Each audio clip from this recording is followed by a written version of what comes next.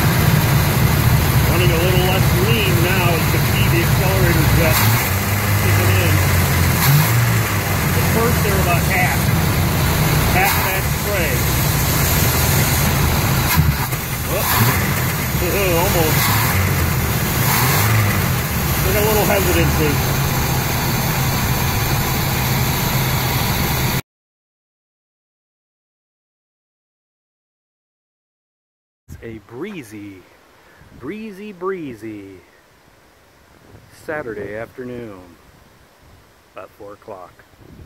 And uh, so I've been charging up batteries and testing out generator sets and all that good stuff, making sure that things are charging. This ran for a little while but shut off because it's got a low fuel indication on it because I've you know got less than a quarter tank in the rig. But I got my uh, battery going here. And uh, you remember I've been talking about the carb, you know, it's been running rough, blah, blah, blah. The engine seems to be running like a pig, yada, yada. So I'm in here, and of course, in the previous episode, I'm replacing these uh, wonderful Chinese 10 millimeter uh, spark plug wires which uh, don't I can't clip them into anything and going back to the old 7 millimeter jobbers or 8 millimeter guys here 8 millimeter premium super mag by uh, AC Delco and you know I was always missing this bit here because the bigger uh, wires just wouldn't fit over it and of course I have my handy dandy diagram now I got to tell you, this is a kind of a rookie mistake. But, you know, it was always kind of running rough and just didn't seem to have a lot of power and blah, blah, blah, right? It was always kind of running, as I said, like a pig. And, you know, been dealing with the carb. And um, replaced the EGR valve up there, did the fuel line, as you can see. And I'm like looking at this diagram, and I'm just pulling plug wires and putting, you know, replacing them with the with these back again and trying to get them back in some semblance of order and back in the little clips here and stuff. But I noticed something weird. So here the diagram, I've got all the plug wires like that's three, that's three, that's five, you know, that's five, right? So I mean, you're going through, that's one, that's one. Okay, that's cool. And that's number three, and this is number five. And I did number seven because, you know, seven's all the way in the back. That's pretty short. Got that hooked up right down there, okay? Right down there. So then I start looking at number five and number three. And number five goes, and if, if you follow me here, number five goes this way. It's a little hard to see because I'm going to have to pull this open here. Number five kind of goes to a spark plug. There's the front spark plug, okay? So there's the front spark plug. That is number one, okay? That's number one. That's number one, right? You follow number one, number one, number one, number one. Number one, number one goes right, right down there, right down, right there. So this one here, as you can see, there's another one. Hopefully we can get down there. You can see the shield there. So there's number three, right? So okay, okay, number three. Number three. Number three. Number three. No, wait a minute.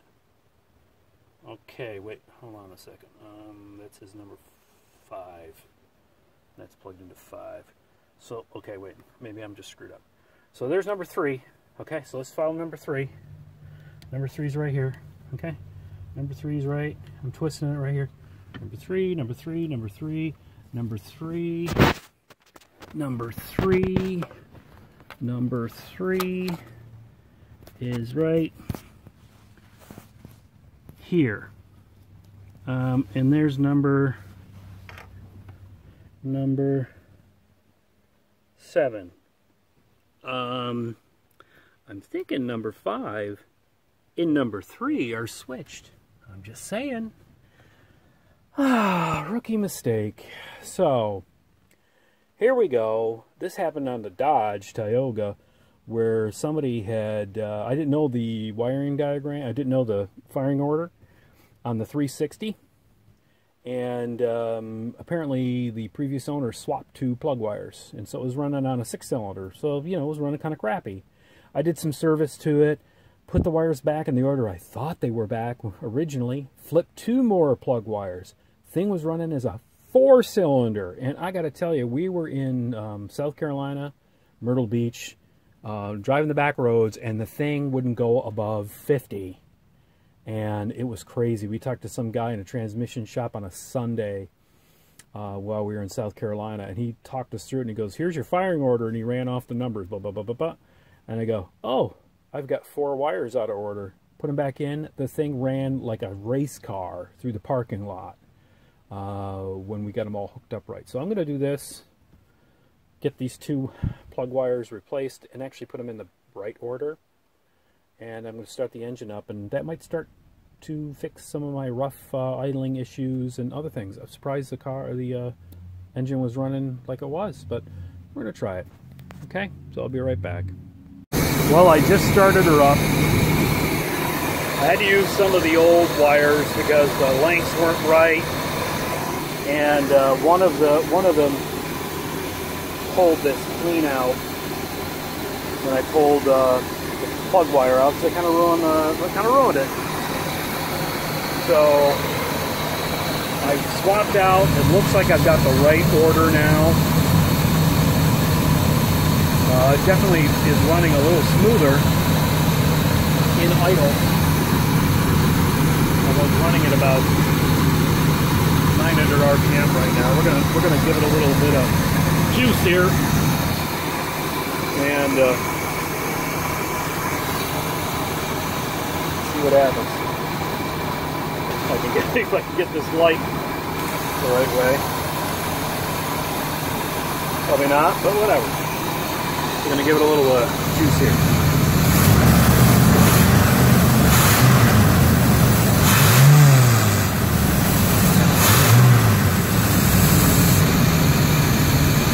Doesn't seem to be backfiring And I gotta tell you, the whole RV's kind of cranking a little bit. When I hit the throttle, the RV kind of does one of these jobs.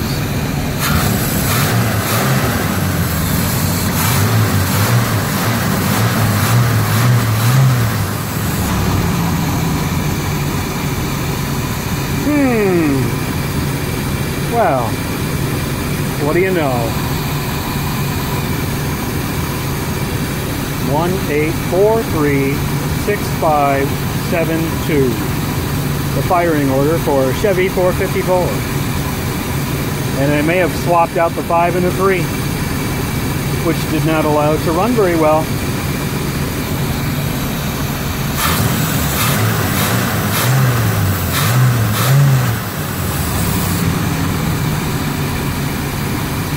Oh, it's always the simple things, isn't it? Or I hope it's the simple things. Wish the brakes were the simple things. That's going to be another video when I bleed the rear brake lines because, as you know, my brake light is still on. And I've got this thing uh, still at a little higher RPM than I want. I probably will adjust the uh, idle to drop the idle down once this warms up.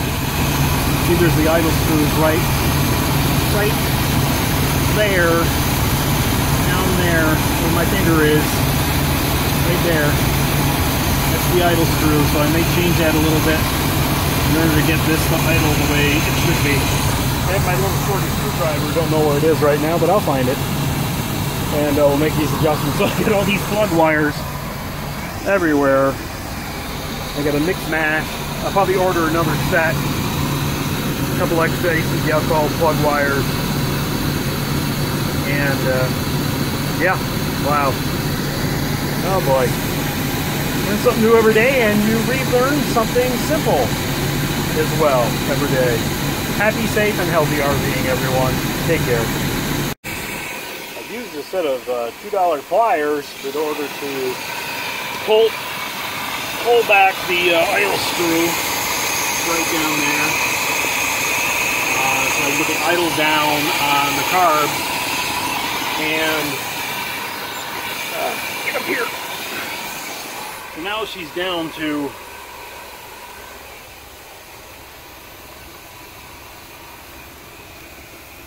about 750, between 750 and 800 RPM, which is about where she needs to be at idle. So that's pretty good. Vacuum is up there at like 19 pounds. It's kind of crazy where the vacuum's at, but it is. It is up there. And uh, I'm just going to give her a few uh, throttle blips and see how she does.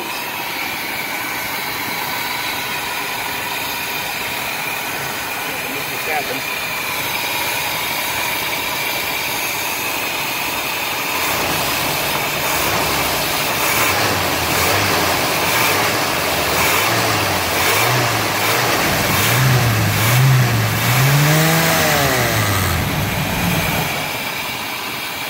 Definitely running a little bit better. I also adjusted the distributor a little bit better, um, so it's not so advanced. You can see it's almost parallel with the back of the engine, which is about where it should be. So it's a lot better because it was kicked quite a bit. It kicked, turned quite a bit when I had it before.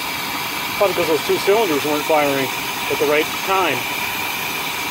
So yeah, there we go.